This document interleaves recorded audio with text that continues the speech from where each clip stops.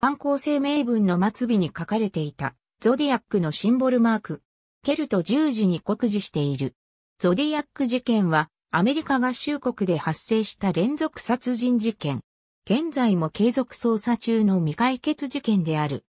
ゾディアックとは、英語で、王道体を意味する語だが、犯人が声明文の中で、私はゾディアックだの一節を頻繁に用いたことでその名称として知られるようになった。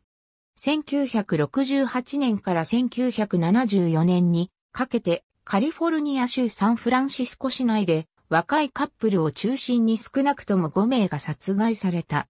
犯行後に警察やマスコミへ多量の犯行声明文を送りつけたことから劇場型犯罪の一つとして有名である。アメリカでも特に有名な未解決殺人事件として知られ、現在に至るまでま犯人についての証言や主張が多く寄せられている。1986年、ロバート・グレイ・スミスが事件について独自の調査を行ったゾディアックという本を出版した。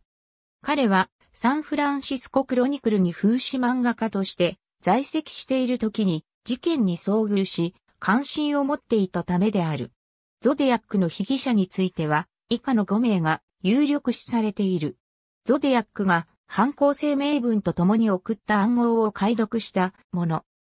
私は人間を殺すのが好きだ。森だ獣を狩るよりも楽しいからだ。なぜなら人間は最も危険な動物だからだとは、孤島の領主による人間狩りゲームを描いた1932年のスリラー映画、両騎島のセリフから引用したとみられる。最後の18文字は、解読の結果意味のある配列にならなかったもの。Https コロンスラッシュスラッシュ www.afpbb.com スラッシュ articles スラッシュダッシュスラッシュ332098 5ありがとうございます。